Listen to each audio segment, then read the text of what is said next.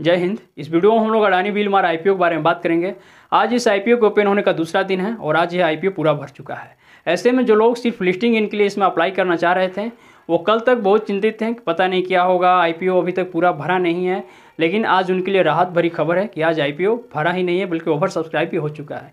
चलिए देखते हैं इस वीडियो में किसने कितना सब्सक्राइब किया है और कितने बाकी हैं क्या क्या इसमें संभावनाएँ हैं, आगे क्या हो सकता है एक एक चीज़ पर विस्तार से बात करेंगे, आइए वीडियो देखते हैं। देखिए आईपीओ ओपन हुआ था सत्ताईस जनवरी को और आज अट्ठाईस जनवरी है, यानी कि दूसरा दिन है, और सिर्फ़ दूसरे दिन ही आईपीओ पूरा भर चुका है, या यूँ कहें कि ओवर सब्सक्राइब हो चुका है। क्लोजिंग डेट है इकतीस जनवरी, यानी कि जो लोग अभी तक इसमें बिट नहीं प्लेस कर पाए हैं, उनके पास सिर्फ़ एक दिन का टाइम है, क्योंकि कल सैटरडे परसों संडे है, इस दो दिन मार्केट बंद रहेगा, आप बिट नहीं प्लेस कर पाइएगा। कल तक यह आईपीओ सिर्फ़ छप्पन परसेंटेज सब्सक्राइब हो पाया था। ऐसे में लिस्टिंग गेन की उम्मीद लगा कर बैठने वाले लोग बहुत चिंतित हैं कि पता नहीं इसमें क्या होगा। लेकिन आज की बात करें तो आज यह आई आईपीओ 1.13 टाइम्स सब्सक्राइब हो चुका है, अर्थात जितना ज़रूरत था उससे ज़्यादा ही सब्सक्राइब हो चुका है। ऐसे में अभी तक जो लोग इसमें बिट नहीं प्लेस किए हैं, वो जब आप मंडे को इकतीस तारीख को इसमें बिट लगाएँगे तो इस मैक्सिमम प्राइस पर आप बिट प्लेस कीजिएगा, क्योंकि आईपीओ ओवर सब्सक्राइब हो चुका है और ओवर सब्सक्रिप्शन की स्थिति में जो कट ऑफ़ प्राइस होता है, वो हमेशा मैक्सिमम प्राइस के ऊपर होता है। तो इस बात का आप ध्यान ध्यान रखेंगे। अब देखते हैं कि किसने कितना अभी तक इसको सब्सक्राइब किया हुआ है। देखिए, जो क्यूआईवी की कैटेगरी है, जिसमें बैंक और म्यूचुअल फंड्स आते हैं, उन लोगों ने सिर्फ़ zero point three nine percent times इसको अभी तक सब्सक्राइब किया है। एन आई आई जिसे एच एन आई भी कहते हैं, जो दो दो लाख से दस लाख तक रुपए लगाते हैं, वो अभी तक zero point eight eight times इसको सब्सक्राइब किए हैं।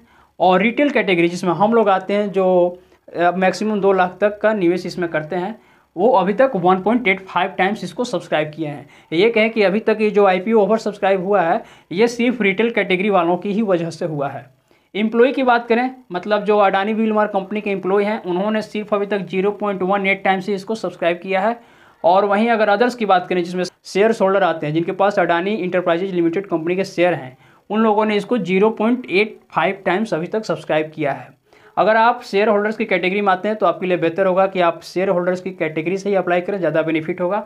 अगर आप अडानी बिल मार के एम्प्लॉय हैं तो इम्प्लॉय के कैटेगरी से इसमें बिट प्लेस करें। और अगर आप इम्प्लॉय के कैटेगरी से बिट प्लेस करते हैं तो आपको ये जो शेयर प्राइस है, इस पर इक्कीस प्रति शेयर पर इक्कीस रुपये का छूट भी मिलेगा। इस तरह यह आईपीओ पूरा आज तक देखें तो 1.13 टाइम सब्सक्राइब हो चुका है।